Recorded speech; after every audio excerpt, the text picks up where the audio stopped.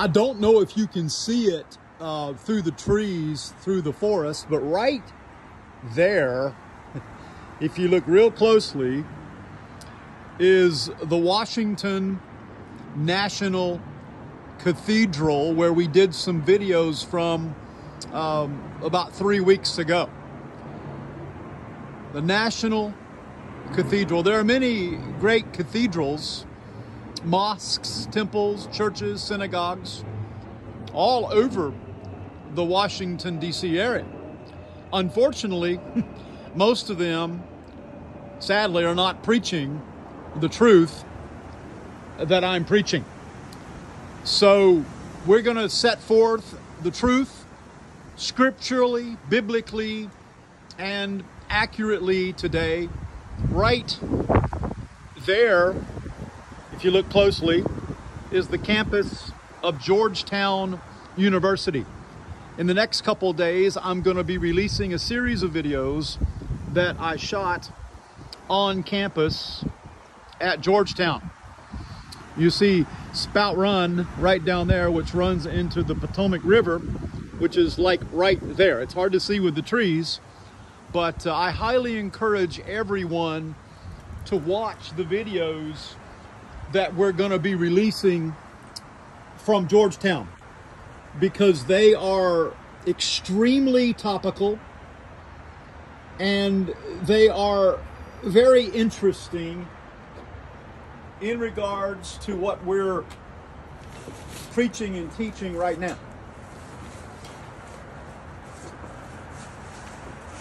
A lot of people a lot of people call me Professor Mike, and that's a, a huge honor.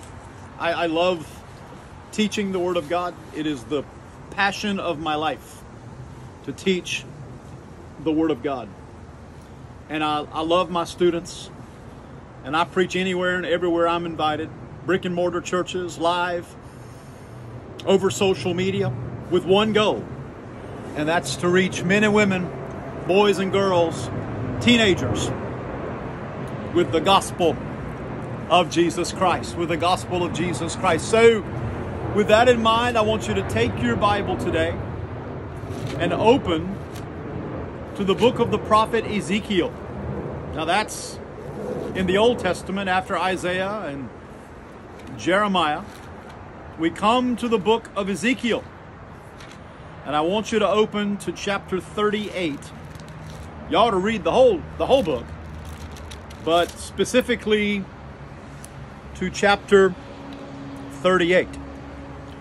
Ezekiel chapter 38, and there is a reason that I am wearing red. there is a reason that I am wearing red for this video shoot, and the reason will become very, very readily, play on word, very readily obvious and apparent to you as we go through this. There is a red menace. It's not a phantom menace, it's not hidden. Socialism and the rise of communism, the expansion of communism, are not hidden. It's not a phantom menace. It's very out there, it's very open.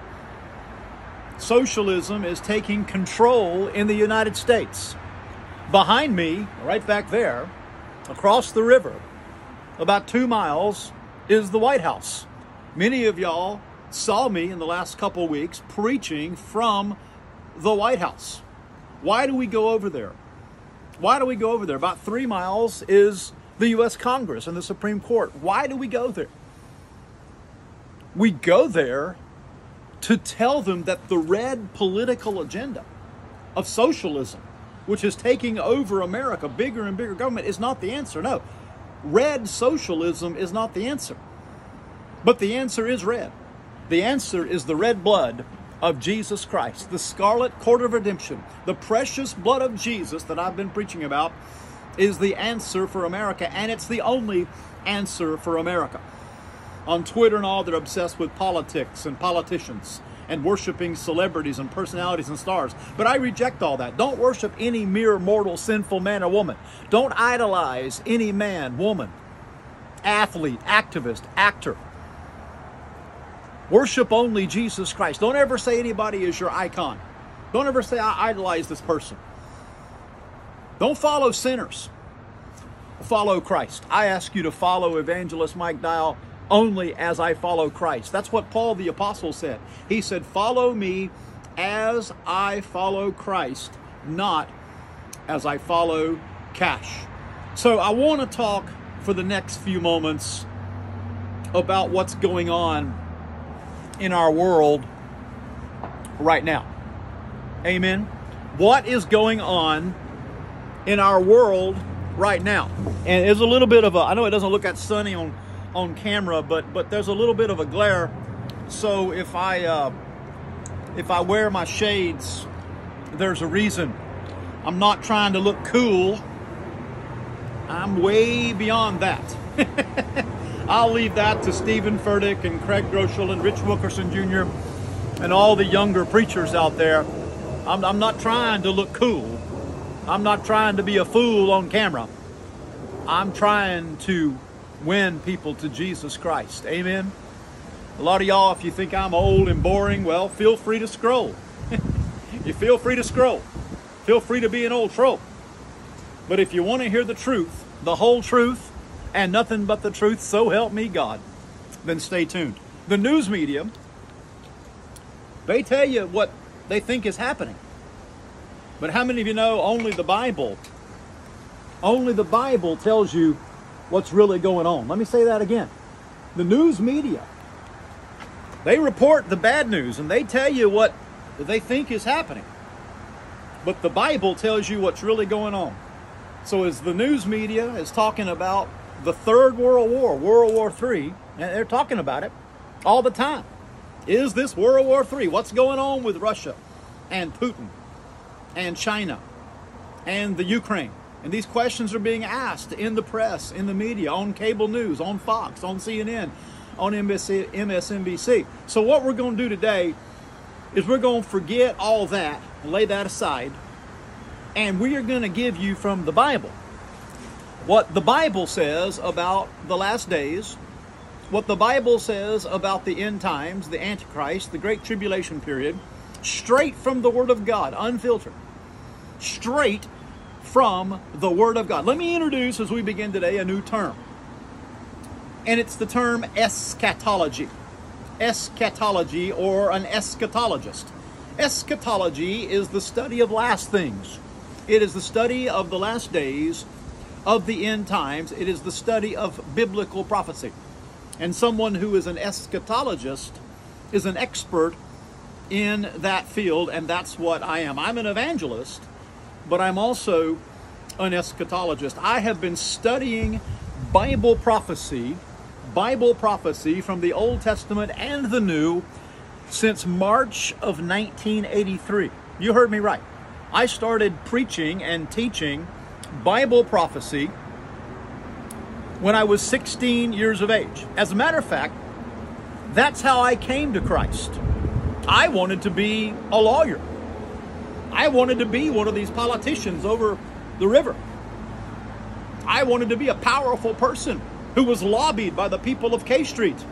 But look, you can't lobby yourself into heaven, K Street.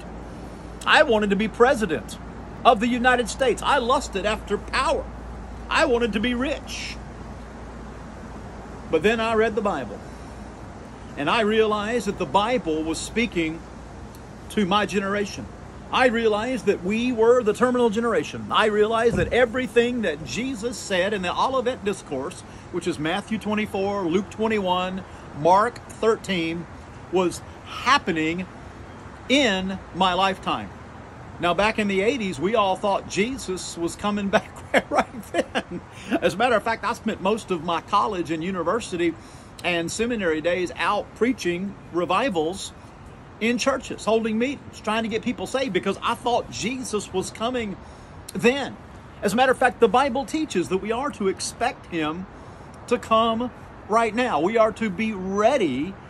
We ought to have what's called the blessed hope, which purifies us at all times. We ought to live every life in the conscious awareness that at this very moment, Jesus may come. But the problem was that the promised rapture, the rapture, that Hal Lindsey and others talked about, it, it, it, it didn't happen. we, we, were, we, were, we were looking for it. We were expecting it. We were praying for it.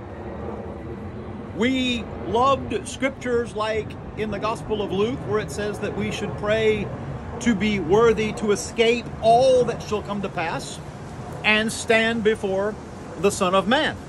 And just about every preacher worth his salt back then held to the pre tribulation uh, doctrine that God will keep us from the wrath to come and take us to heaven. But a funny thing happened on the way to the rapture. It never happened. We were all going around talking about, reading, and promoting and preaching the late great planet Earth. The late great planet Earth. As a matter of fact, Hal Lindsey became very wealthy and became a multi multi millionaire and, and a best selling author. You can tell how old this book is. The the title has been smeared out, but it's the 1980s countdown to Armageddon. It should say Armageddon. The 1980s countdown to Armageddon. But a funny thing happened on the way to Armageddon. A funny thing happened on the way to Armageddon in the 1980s and 90s. It, it didn't happen. The we all back then we read what I'm going to use today as a text, Ezekiel 38 and 39, and we had the old Soviet Union back in the USSR, the old Soviet Union, the Kremlin, invading Israel back in the 80s, and we all said it was going to happen. And but then, but then the Soviet Union collapsed. Gorbachev arose. Perestroika came. Boris Yeltsin came, and it evolved into Vladimir Putin, and the Soviet Union lost much of its territory. Many of, of them now are democratic republics and west leaning nations, such as the Ukraine, and the Russian Federation. Some of y'all saw my video from the Russian Federation embassy in Washington that I released just a couple days ago. Um, and a lot of prophecy experts were shaking their head like, what just happened? we thought we had it figured out. But that's the great thing about God. The Bible, the Bible says that, that, that, that the Lord works his ways in, in mysterious ways, and the Lord's ways are higher. His thoughts are higher than us. So just when you think you got it all figured out, God says you don't. you don't know anything. That's what God's way of keeping us humble. And that's what Jesus meant when he said, No man knows the day or the hour of his return. Only the Father. So much truth there. Anybody who sets a date, amen, is a kook, and it never happens. And, and we realize retrospectively that they are a religious cult and a cult leader. We're not about setting dates, but I want you to think about what Jesus said in that scripture. And you know, sometimes the best way to interpret a scripture or to know what a scripture is saying is to look at what it's not saying. Jesus said, literally, no man knows the day or the hour. Right. Absolutely. You can't narrow it down to a day or an hour. However, there is something called, let Professor Mike introduce you to another term hermeneutics. Now, they say follow the science. Hermeneutics is the science, the science of biblical interpretation. It's not homiletics. Homiletics is preaching, but hermeneutics is the science of biblical interpretation. If the, the number one rule or law, spiritual law of hermeneutics is scripture interprets Scripture. Are you listening to me? And if you follow that, you're never going to be deceived by cults or cult leaders. Scripture interprets Scripture. So when the Scripture gives signs of the times, and when Jesus gave signs of the times, you can narrow down the time of His coming to at least a generation. I spoke the other day right across the river, actually on this side of the river at the Air Force Memorial, looking down on the Pentagon. And I talked about Luke 21, where Jesus says, The generation that sees the fig tree, which is Israel, begin to sprout leaves. Jesus says that generation, that terminal generation, shall not pass away until, brace yourself, it's a stunning, staggering prophecy, until all things be fulfilled. Now think about that. So Jesus, though he doesn't give the date, he doesn't give the hour, he does give the general time frame and the generation. The generation that saw Israel become a nation in 1948 will not totally pass away until all things be fulfilled. Now, how many 120 year old people do you know? Amen. So, tick tock, tick tock, tick tock, the clock is ticking. Israel is God's prophetic time clock. Tick tock, tick tock, the clock is ticking toward World War III, toward Armageddon, toward the return of Jesus Christ. And so the reason I'm preaching till I'm blue in the face all over social media, at every church conference, camp meeting that will invite me, is because I'm heralding Judgment Day. I'm calling America to repentance. That's why I went over to Capitol Hill calling America to repentance. That's why we went up to New York City and we issued God's last call. That's why I issued God's two minute warning and praise God over 605, 605,000 of you viewed that video from New York. Praise God, praise God. The harvest is coming in. It is the last harvest, it is the last revival, and it is the last move of God. And God has commissioned, anointed, and called evangelist Mike Dyal to preach the gospel of the kingdom.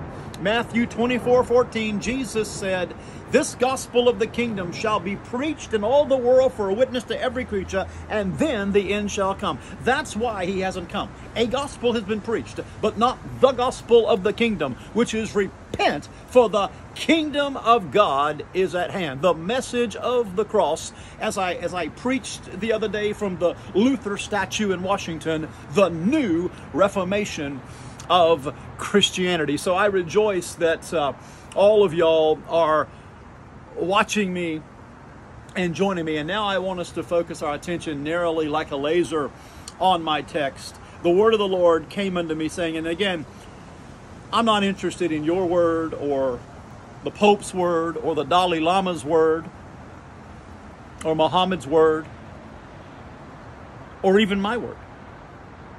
I'm not interested in the word of the Southern Baptist Convention or the Methodists or the Presbyterians or the Assemblies of God. I'm interested only in the word of Almighty God. And he says, Son of man, set thy face against Gog, the land of Magog, the chief prince of Meshech and Tubal, and prophesy against him. Now, I want to let you know as we begin to look at this that Ezekiel 38 does not stand alone. Cults begin when you only look at one verse or one passage and you take it out of its narrow context and you take it out of its context of the whole Word of God. There's many other places in the Bible where it talks about Gog and Magog and Armageddon. For your homework assignment, you ought to read the 16th chapter of the book of the Revelation, where it says that he gathered them together. And I'll read the context. Read chapter 15, 16, 17, 18, 19, 20. He gathered them into a place that's called, in the Hebrew tongue, Armageddon.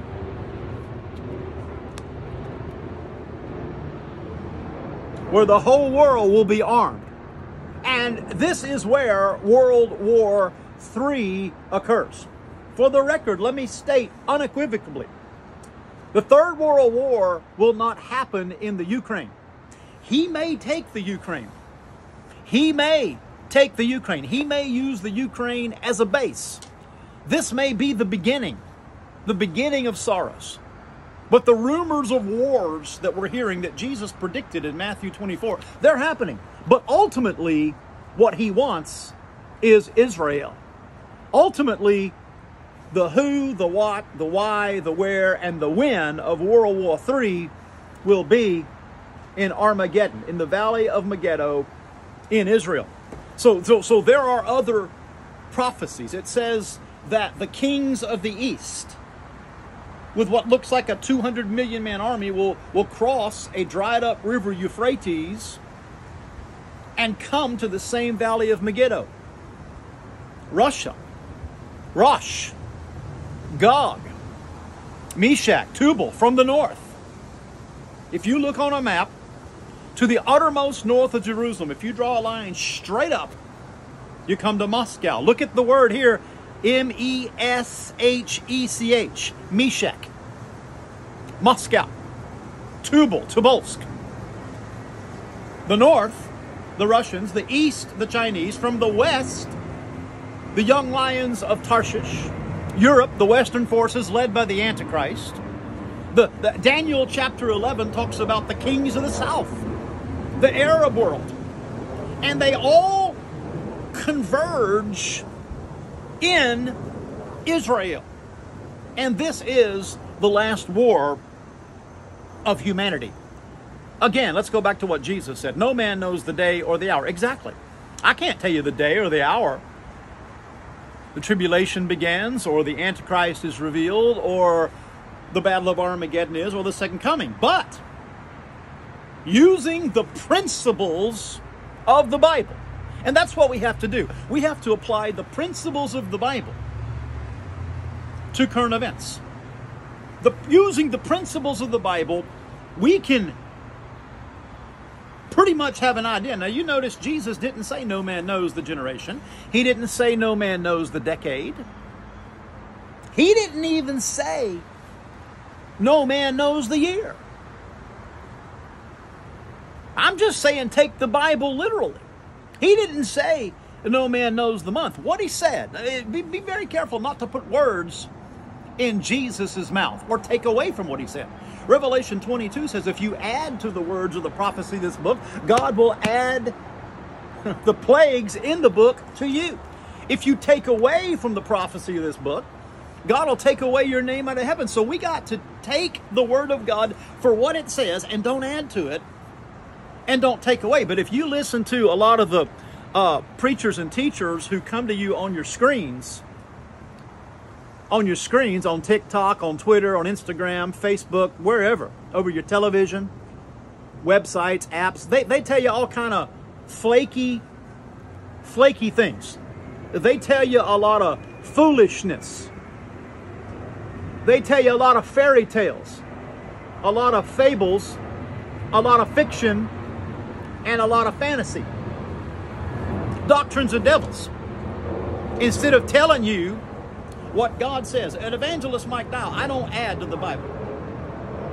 I don't take away from the Bible. At Evangelist Mike Dyal, I don't treat the Bible like the Golden Corral. I don't treat the Bible like an all you can eat buffet. Take what I want and eat the rest. No, I deal with the whole Bible, all 66 books. Hallelujah, from Genesis to Revelation. The word of the Lord came to me, Son of man, set your face against Gog, of the land of Magog, the chief prince of Meshech and Tubal and prophesy against him. Now, Ezekiel in the Old Testament was written originally in Hebrew. Amen. Hebrew. And if you, and I'm not a Hebrew scholar, but I study after and read after people that are. Amen. Great men of God who have devoted their life, the Old Testament to Hebrew, the New Testament to Greek, and I read after. Praise God. And if you consult the Hebrew scholars, where it says here, the chief prince of Meshech, in Hebrew, it's more accurately translated, the prince, brace yourself, of Rosh. Rosh. R O S H. Now that sounds amazingly similar to Russia. Russia. Meshech, Moscow, Tubal, Tobolsk. Okay, it would be one thing if an expert on Bible prophecy, such as myself, were talking about World War III. But they're talking about it on the news media. Joe Biden's talking about it. POTUS is talking about it. It's all over the media. Isn't it absolutely mind blowing? See, Apple, Apple doesn't blow my mind. Microsoft, AT&T, Amazon, Alphabet, Google, they don't blow my mind. Blow my mind. You know what blows my mind? Bible prophecy. The word of Almighty God. That thousands and thousands of years ago, ancient men could exactly describe the traits, characteristics, and conditions of the world in 2022. Blows my mind. Tech, tech, tech, tech talks about you need information an information superhighway. You need intelligence. You need data. You need systems. No, no, no, no, no, no, no, no, no, no, no, no. You know what you need? You don't need another computer system. Glory to God. You need systematic theology. Glory to God. You need systematic theology. And that's why I'm glad you're student, you're my students. I'm glad I'm your professor. We are going to set in order, line upon line, precept upon precept, correct, correct systematic theology. Glory be to Almighty God because that's the only thing that can save you from eternal hell. Now, let's go to the second verse. And say, God's telling the prophet what to say. Thus says the Lord, the Lord God, Behold, I am against thee, O Gog, the chief prince of Meshech and Tubal. Now, literally again, the Hebrew scholars tell us that where it says chief prince of Meshech and Tubal, it says the prince of Rosh. Now, a lot of y'all, I have encouraged you and encouraged you and encouraged you, if you follow evangelist Mike Dyal, to also follow my uncle who's on TikTok at Daryl Dial. At Daryl Dial. The jets are flying over because Reagan Airport and what a great man Ronald Reagan was. You talk about somebody who took on communism. You talk about somebody who brought down the Berlin Wall. You talk about somebody who said, Mr. Gorbachev, tear down that wall. Ronald Reagan. Ronald Reagan Airport is right down there.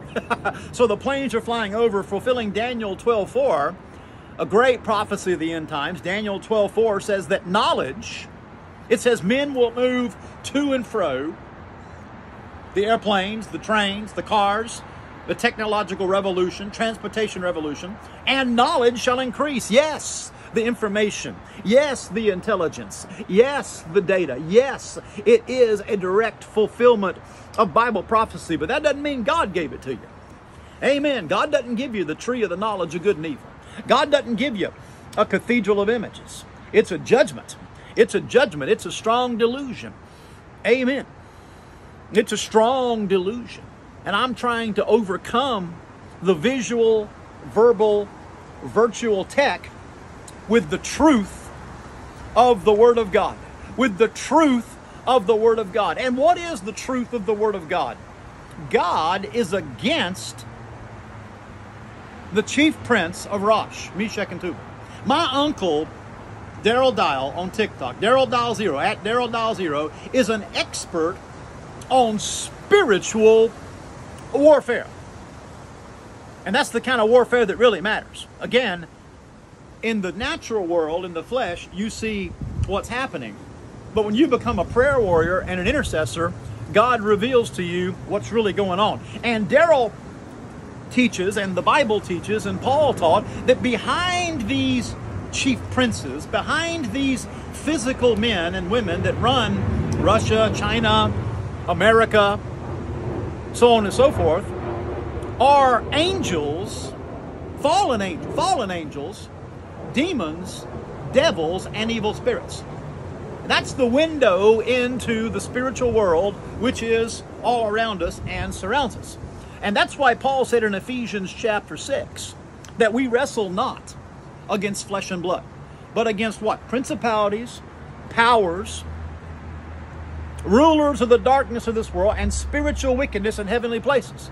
Behind Putin is a mighty fallen angel. Are you listening to me? I said, behind whoever the chief prince of, of, of, of Rosh Meshech is Putin, Gog and Magog, behind these world powers, whether it be China and Xi or America and Biden. Amen. Macron in France, every nation we could name, Iran, that's part of this Ethiopia, that's part of this end time scenario. Behind that physical man is a fallen angel, a demon, a devil, or an evil spirit.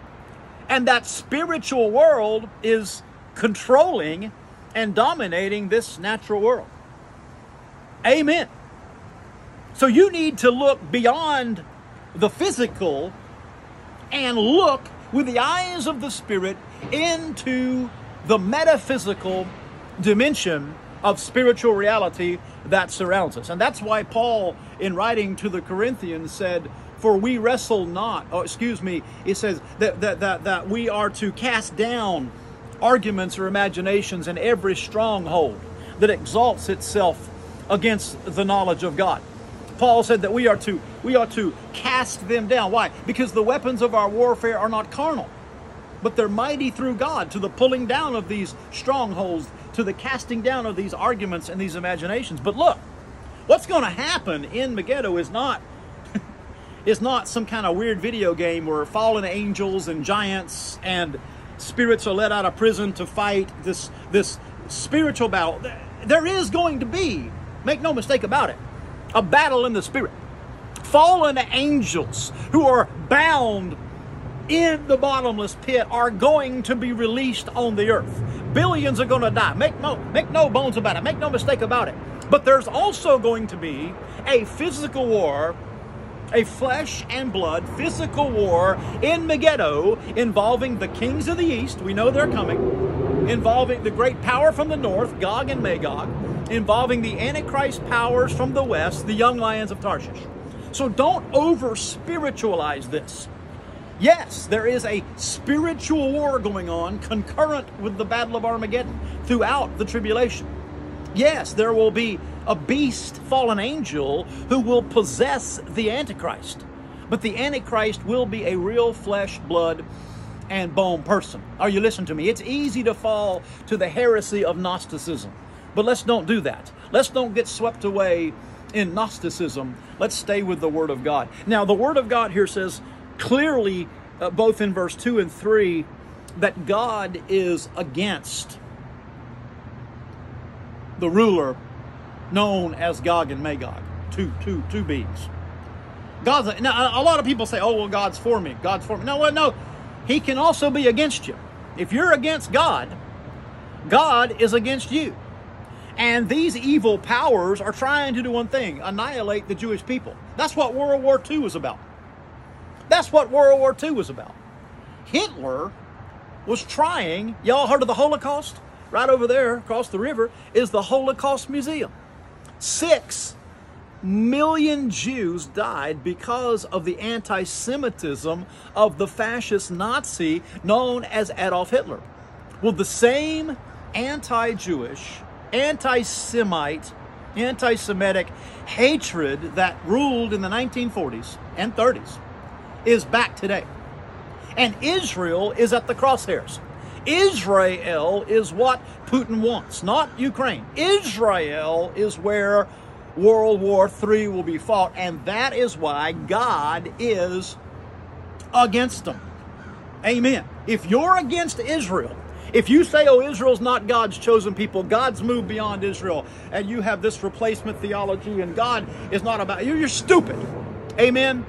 Romans 11 says what it's all about. All Israel, glory to God, shall be saved. God's chosen people are coming home. Hallelujah. And before Jesus sets his feet on the Mount of Olives, all Israel shall be saved. They will welcome their Messiah and they will say, Jesus is Lord. Hallelujah. And how dare you deny that? How dare you call God a liar? Everything is about Israel. Now, look at verse 4. And I will turn you back and put hooks into thy jaws. Think of that. Hooks into thy jaws.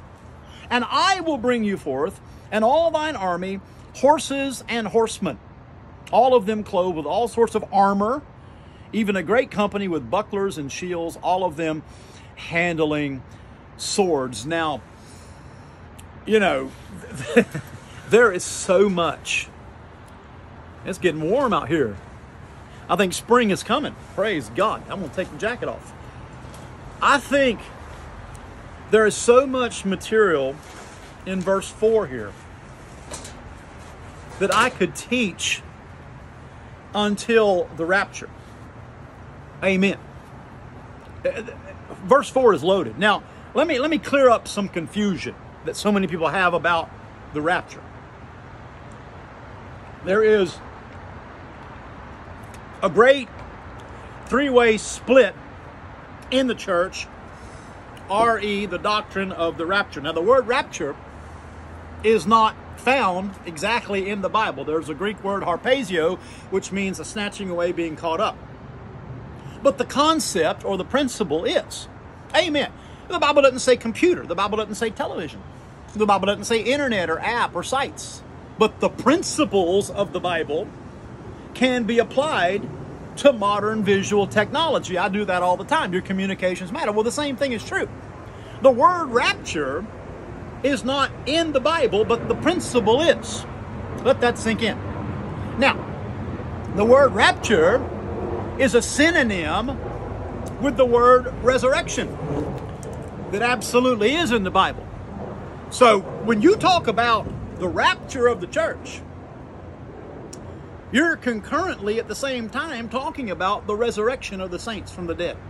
And that's why in Thessalonians, 1 Thessalonians chapter 4, it puts them together. The dead in Christ, glory to God, the dead in Christ. I'm not talking about God's frozen chosen, the Presbyterians, so y'all Presbyterians can relax. That's a joke. the dead in Christ shall rise first.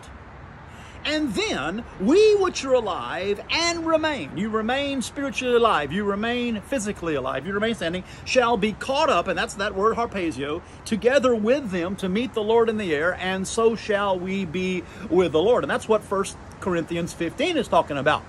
The dead, the dead, hallelujah, shall put on immortality. Mortals shall put on immortality at the last trump. Not Donald Trump, the trump of God, at the last trump. So, rapture, resurrection are synonyms. Some people believe it's pre trib, some people believe it's mid trib, some people believe it's post trib, but the fact is, Jesus is coming and there will be a rapture. And any born again Christian believes in the resurrection. And if you don't believe in the resurrection of the saints, you're not saved.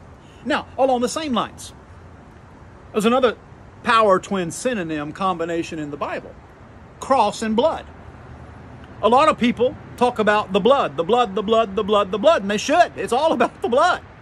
Other people talk about the cross, the cross, the cross, but but what they don't realize is when you say cross, you're saying blood. They're synonyms. They're sin busting synonyms. Glory be to God forevermore. The blood and the cross. Now let's look at verse 4 closely. I will turn you back. I will put hooks in your jaw, pulling you down from the north, the uttermost north, and I will bring you forth. Your horses and horsemen. Now that evokes the book of the Revelation, the four horsemen of the apocalypse. How many of y'all have ever heard about the four horsemen of the apocalypse? Amen. But I, I want to talk about one aspect of verse 4 that a lot of people don't deal with. And that is the fact that God is doing this. Uh, people in charismatic circles, Pentecostal circles especially, they make Satan the fourth person of the charismatic God, Godhead, and they give the devil too much credit. Are you listening to me? Satan's not omniscient, he's not omnipotent, he's not omnipresent, he's not eternal. Amen. Satan is not the one bringing the bowl seal, trumpet, vial judgments of the revelation. When the revelation talks about the seven last plagues, seven last plagues, where a third of the world's population will die, billions are going to die. Think of that. It's not the doings of the devil. The devil's not on a leash running, running roughshod. You read the book of Job. He only does that which God allows him to do. Put that in your theology pipe and smoke it. No, this verse clearly teaches, and many others, that it's God turning you back. It's God putting hooks in the jaw, and it's God bringing you forth. Why? Because everything that's going on is a judgment against sin. God has given call after call. 9 11 was a warning from the throne of God.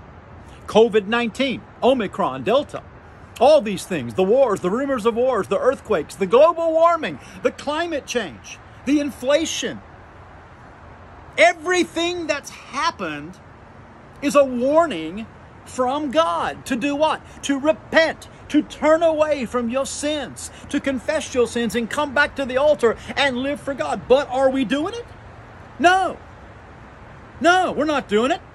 Instead, we're Babylon. We're sinners. We're babbling on, on our tech, on our modern communications, as we boast, as we brag, as we bully, as we text and tweet and type and transmit idols, images, and icons to our own destruction. No, what's going on today? A woman rides the beast. The woman is the false church, the false harlot, riding the beast. We are to be the holy bride of Christ, but instead we have become the whore of Babylon. We now have an unholy matrimony, the church aligning itself with the world, riding the beast, the Antichrist, the false prophet. 666.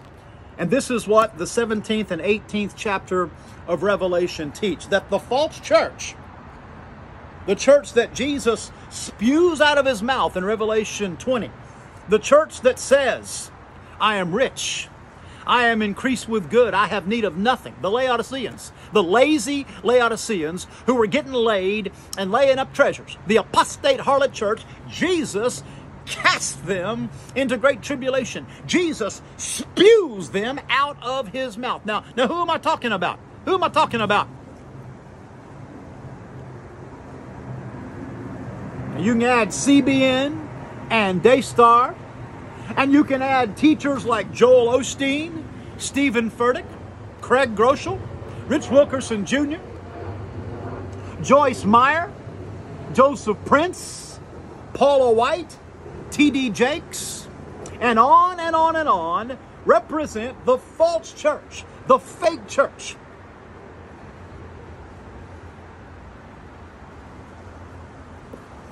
And God's judgment has set. And if you read Revelation 17 and 18, the Bible says God's going to burn this whore up. He's going to send a fire. If you read 2 Peter, the Bible said God is going to send fire and all things are going to be melted and all things are going to be dissolved. Is it global thermonuclear war? Some people believe that. Is it a spiritual judgment, God sending literal fire like he sent on Sodom and Gomorrah? Some people believe that. But, but whether it's global thermonuclear war that kills billions or it's God's spiritual judgment and, and fire, however the case, don't split hairs, it's going to happen. And it's God judging sin. This explains why Paul wrote to the Thessalonians and he said, God shall send strong delusion. He didn't say the Antichrist or, or the devil. He said God. That's how God responds to sin. When you reject and spurn the cross, when you reject the Word of God, your heart becomes hardened by all your hardware. And you don't have a soft heart for God because all you care about is software. Glory to God. You're not serving the master because all you care about is Microsoft and Apple. And the tech destroys you. And the earbuds in your ear and all the wires, all the wires of tech and your wireless plans. Look, you better forget about your wireless plan and you better have a plan to escape eternal hell fire and brimstone. Are you listening to me? There'll be no wireless in hell. There'll be no hookups in hell. There'll be no video games in hell. There'll be no tech in hell. There'll be no idle phones in hell. Are you listening to me? There'll be no idle phones in hell. There'll be no smartphones in hell. Or are you understand? There'll be no happy hour in hell. There'll be no hedonism in hell. There'll be no hookups in hell. There'll be no money. Those of you that spend your life chasing the almighty dollar, you know who you are. You spend your life. You spend your life trying to fill your wallet and not your heart. You fill your wallet, you fill your purse, you, you fill your pocketbook, you fill your bank accounts, your investments, your annuity, your IRA. But how many of you know Jesus said, lay not up for yourselves treasures on the earth? How many of you know Jesus said, you can't serve two masters, God and money? Now don't shout me down now because I'm preaching real good. That's a good place to say amen. If you can't say amen, you can say oh me. It's true nonetheless. It's not in God we trust anymore. It's in money we trust. Filthy lucre. Lucifer's filthy lucre. No, I don't love Lucy. Why would you name a girl? Well, look, that's why God is angry. That's why God is jealous. That's why he's wrathful. The word says the love of money is the root of all evil, but you spend your life chasing money you spend your life chasing cash, but not chasing Christ. You have to understand, ladies and gentlemen, corporate America is not Christian America. Christian America is not corporate America. Capitalism, competition crushing, competition itself is not Christian.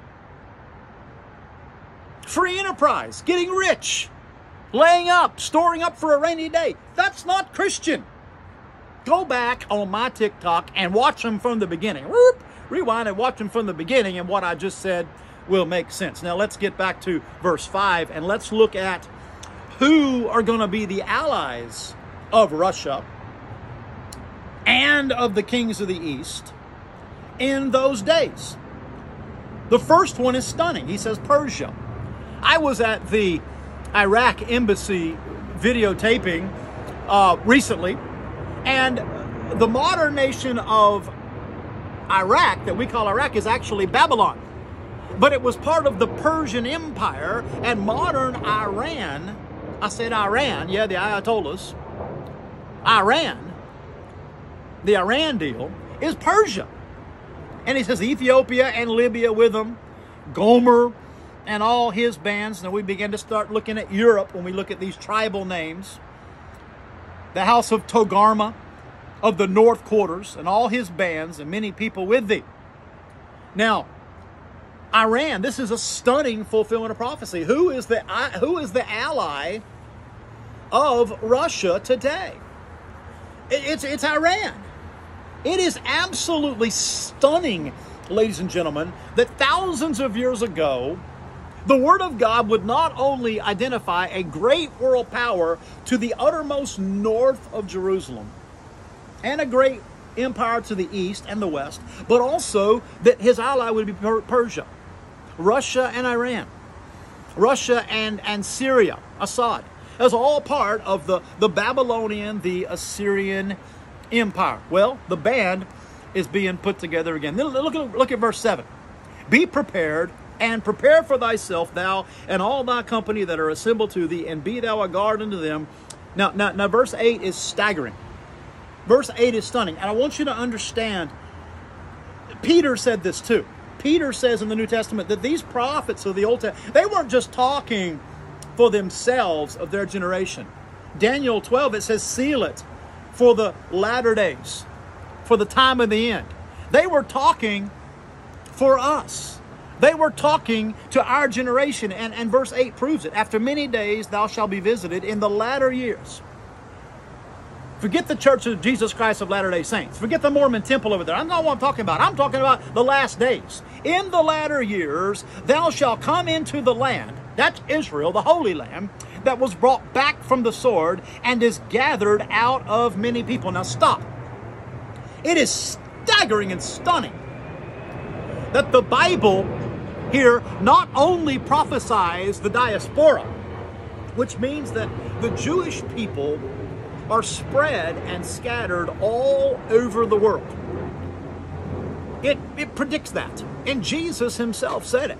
He said the temple will be destroyed. It happened in AD 70. And then they were spread all over the world. Hitler tried to finish them off in the Second World War. But not only does it promise the diaspora, But in the most stunning prophecy of all, it also says that they are gathered out of many people. God brings them back. And in 1948, they came back, Zionism, they formed the Jewish state. And there have been wars, I mean, uh, in, in 67, in 73, there have been wars to try to end Israel, but little tiny Israel, which is just a speck of a nation physically, but it's a giant spiritually, little tiny Israel survives. And the Bible says they will be brought back. Now resume our reading in verse 8 against the mountains of Israel, which have been always waste, but is brought forth out of the nations. Glory to God. If you don't believe there's a God, wake up. If you don't believe there's a God, read your Bible and wake up. And they shall dwell safely, all of them. Now, now that's extremely important, the word safely. Paul, writing to the Thessalonians, in 1 Thessalonians 5 3 speaks of the coming of the Antichrist and the war of Armageddon. And he says, When they shall say, Peace and safety, then cometh sudden destruction as travail upon a woman with child. The Antichrist, beast, false prophet, 666, will negotiate a seven year ironclad peace agreement, non aggression treaty that will make Israel be dwelling safely, living safely in a city of unwalled villages. Now, we began to see this come to pass in the Trump administration with the Abraham Accords. And Israel signed, actually, Carter administration, Camp David. Then the then the uh, with Egypt, but then the Abraham Accords and Israel signs with these nations. Well, this is going to be expanded. And it's going to be expanded to include Russia, to include China. Someone is going to come on the scene, and I speak as a prophet of God, and they are going to enact a peace treaty to protect Israel, to defend Israel, and to stop this war that is being discussed right now. And Israel will dwell in this false peace. Maybe they supposedly end COVID 19 for a while, coronavirus. And everything is safe and everything is peace and everything is brought back to normal with microchip technology, the mark of the beast. And everything is fine and they think it's okay. But then we come to verse 9 as I begin to conclude. Thou shalt ascend and come like a storm. A storm is coming. Thou shalt be like a cloud to cover the land, thou with all thy bands, and many people with thee. Thus says the Lord, it shall also come to pass that the same time shall things come into thy mind, and thou shalt think an evil thought, and thou shalt say, I will go up to the land, listen, of unwalled villages. I will go to them that are at rest, that dwell safely, all of them dwelling without walls, and having neither bars nor gates, to take a spoil. To, this is what it's about, to take a prey. Now, again, a peace deal is coming. The beast will win the Nobel Prize. The beast will, for a while, prevent World War II. The beast, for a while, will be the hero of Israel. He will be like the Prince of Peace. He will be like Christ. Look at verse 13. Sheba and Dedan, the merchants of Tarshish, with all the young lions thereof, shall say unto Gog and Magog, Art thou come to take a spoil? Hast thou gathered thy company to take a prey, to gather away silver and gold, to take away cattle and goods, to take a great spoil?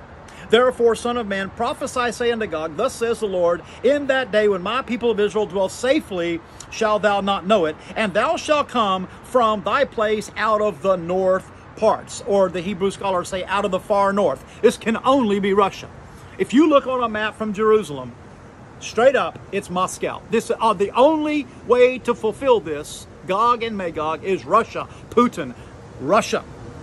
Out of the north parts, thou and many people with thee, all of them riding upon horses, a great company, and a mighty army. Now, I want you to notice who comes to Armageddon to be the opponent. We see that the aggressors are Russia and the kings of the east.